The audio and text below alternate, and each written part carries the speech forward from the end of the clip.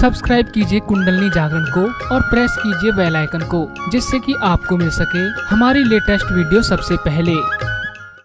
न जाने कितने वर्षों से अपने देश में दिवाली का त्योहार मनाया जाता है।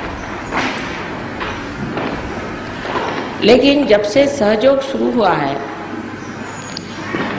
दिवाली की जो दीपावली है, वो शुरू हो गई।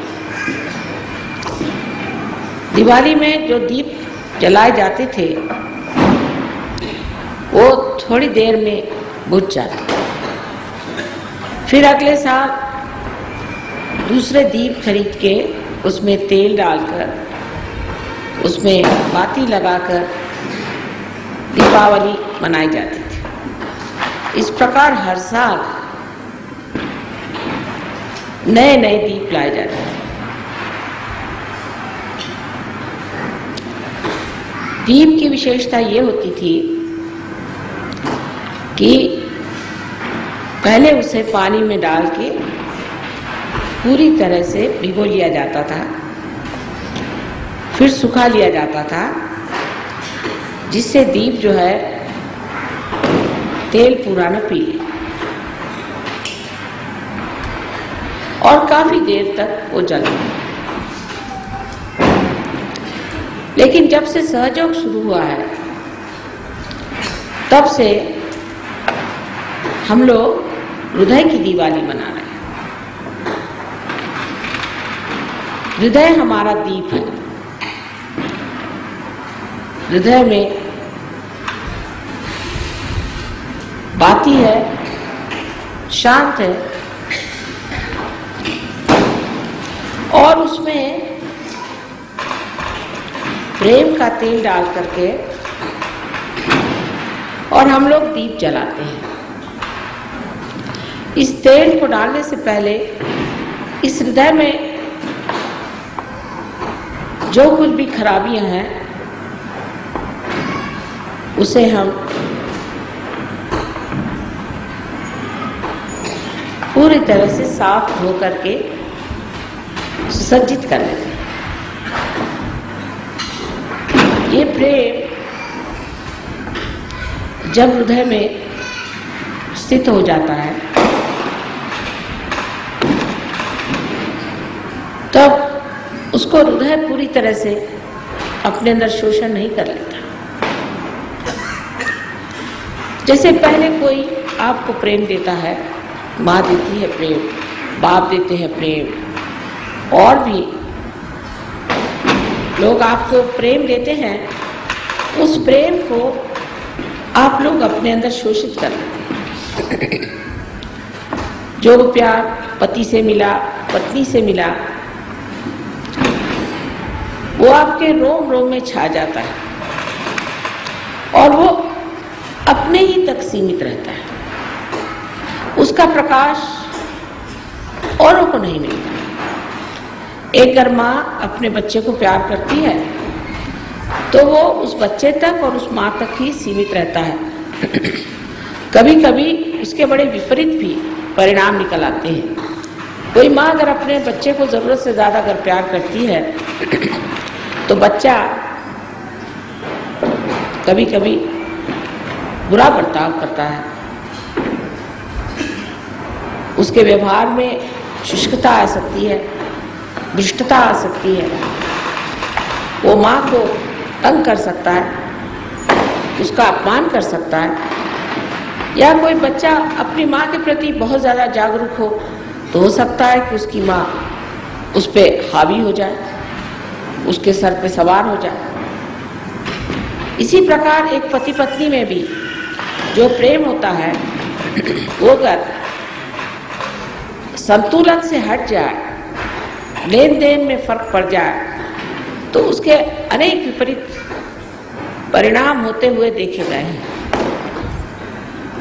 लेकिन सहयोग का जो स्निग्धमय प्रेम है,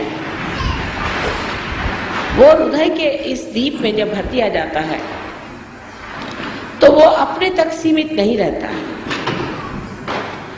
और उसमें जब दीप जल जाता है जब आत्मा की ज्योत फैल जाती है तो वह सारे संसार के लिए आलोकित करने का माता उसकी ये शक्ति हो जाती है उस हृदय की कि वो सारे संसार को आलोकित कर दे। सारे संसार में प्रकाश फैला सारे संसार का अज्ञान हटा सारे संसार में आनंद फैला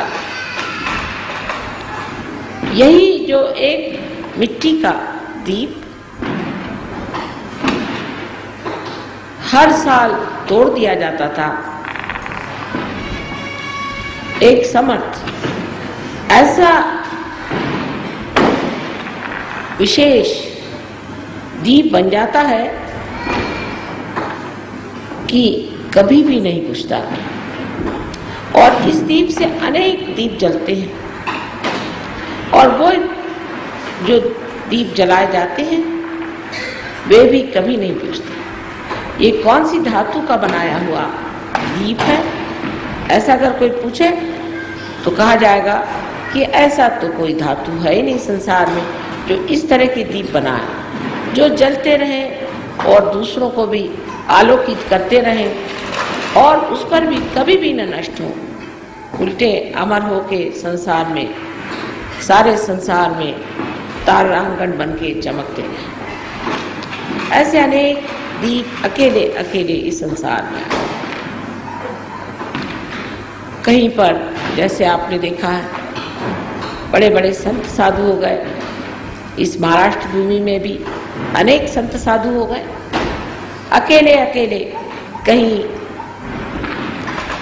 बैठे हुए धीरे धीरे धीमे धीमे जलते रहे। लेकिन वो आज भी तारांगण बन के संसार पे छाए लेकिन वो अकेले दीप थे। दीपावली नहीं थी। अकेले दीप थे। कभी कभी एक दूसरे से मिल लेते थे। लेकिन आज हमारी दीपावली, आप लोग सब वही दीप हैं जिनकी मैं व्याख्या कर रही हूँ। जिनका मैं वर्णन कर रही हूँ। वही सुंदर दीप। जो कि आलोकित हो गए और आलोकित होने के बाद दूसरे अनेक दीप जला रहे हैं। एक दीप से हज़ारों दीप जल रहे हैं। यही एक तरीका है जिससे संसार का अंधकार, उसका अज्ञान सब नष्ट हो सकता है। लेकिन इसके अंदर एक बात याद रखनी है कि हम जिस तेल से जल रहे हैं, जिस निग्धता से जल रहे हैं, वो प्रेम है। वो निर्वाज्य प्रेम है।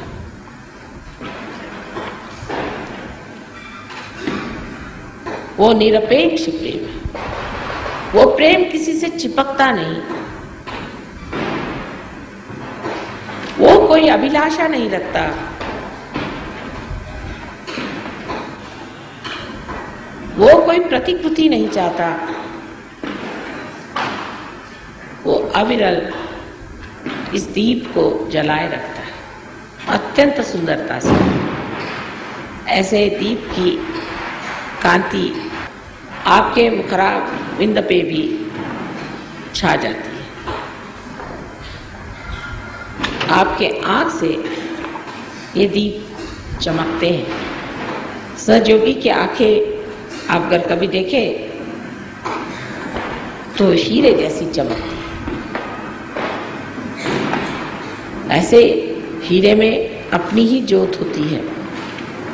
इसी प्रकार एक सहयोगी की आँख के अंदर अपनी ही एक दीप शिखा होती है, जो झिलमिल झिलमिल चमकती रहती है। यह सब काया पलट हो गया।